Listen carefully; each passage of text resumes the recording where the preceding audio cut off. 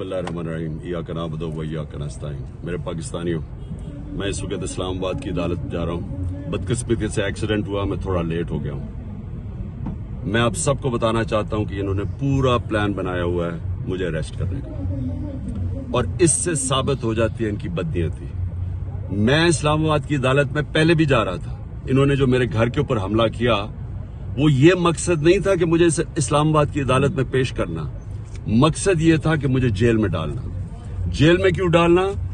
क्योंकि London plan का हिस्सा है कि मुझे जेल में डालो। ये नवाज़ शरीफ की, ये उसकी डिमांड है कि इमरान खान को जेल में डालो और इलेक्शन में वो हिस्सा ना ले सके। और ये फिर वही करने जा रहे हैं। अभी मुझे पता है कि मुझे अरेस्ट कर रहे हैं। मैं सिर्फ़ बताना चाहता हूँ कि मैं रूल ऑफ़ लॉ में मानता हूँ, कानून में मानता हूँ। पता होते हुए मैं जा रहा हूँ, लेकिन मैं कौम को बताना चाहता हूँ कि ये बेनकाब हो गए ये जो लोग ऊपर बैठाए हुए हैं जो चोर और डाकू और जिन्होंने बैठाए हैं, ये बेनकाब हो गए हैं कि इनकी नीयत क्या है। नीयत कभी इस मुल्क में कानून नहीं थी। इसमें जंगल का कानून नाफिज किया हुआ है इन्होंने।